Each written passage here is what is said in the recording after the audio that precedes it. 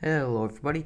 So today in this video we're going to be seeing how many times a Final Wars Godzilla can use his first two attacks without running out of energy.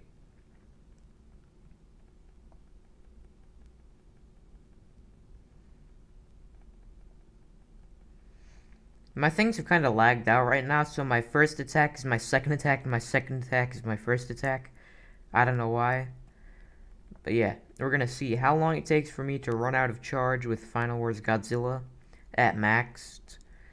I think it's going to take a while for me to actually run out of charge with this guy, because I did a test with this one before. It took a long time for me to run out of charge.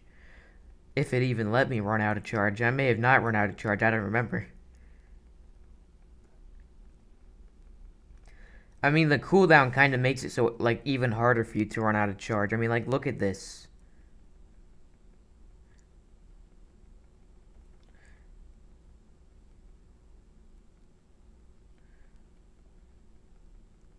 Like, look at this. It, I don't... Okay, now it's somewhat starting to...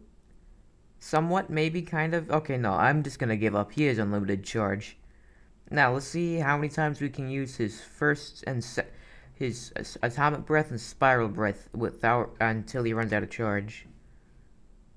Also, that beam lasted a really long time. You know, I think he's able to use his beams limitlessly, his first, his third beam and his fourth beam limitlessly, because of the just countdown of them. It just take, or the cooldown, it just takes so long for them to actually cool down. But yeah, this is a video, just, this shows how, how just powerful and just how much of just energy and charge he has in this video. Or, uh, yeah, that's it for this one.